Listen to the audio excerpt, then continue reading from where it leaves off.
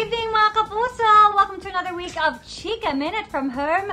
Ngayong may COVID-19 crisis, maraming trabahong na put on hold, lalo na sa mundo ng showbiz at sports. Ayan, may gustong uh, makitang sarili sa TV. Kaya ang kapuso actor na si Neil Ryan Sese at professional athlete na si JB Sumagaysay, change career muna ang kanilang diskarte sa Chika ni Lars Santiago.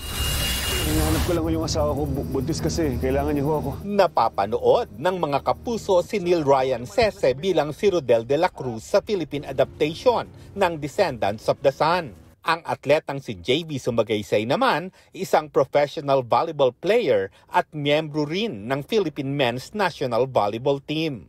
Pero nang magkaroon ng community quarantine dahil sa COVID-19, change career daw muna silang dalawa. Pinasok nilang pareho ang pagde-deliver ng pagkain. Isip ko yung seafood.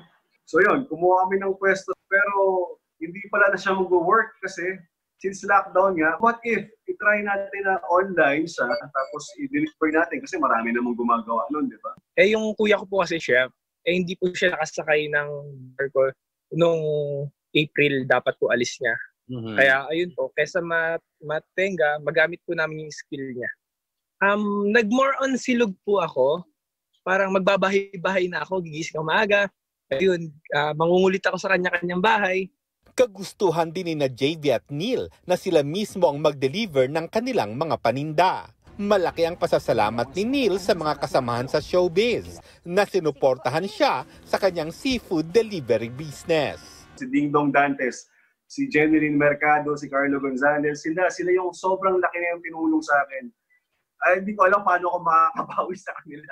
Sobrang ano. Lalo na yung si Ding Dong. Si Ding Dong, hindi ko alam pala, nag-order siya. Ang ginagamit niyang name, yung name ng helper niya.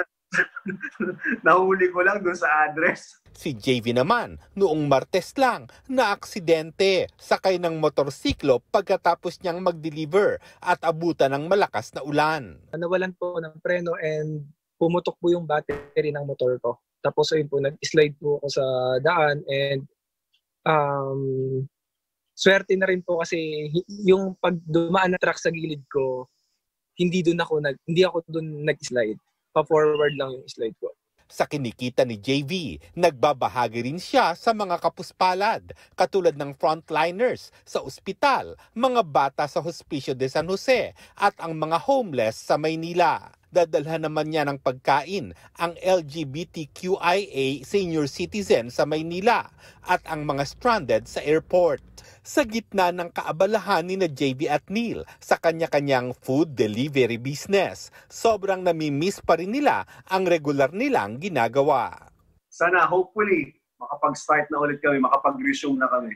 Kahit pader na lang yung kalaro ko minsan, andyan pa rin yung hawak ko pa rin yung bola ng volleyball. Lars Santiago, updated sa Showbiz Happenings.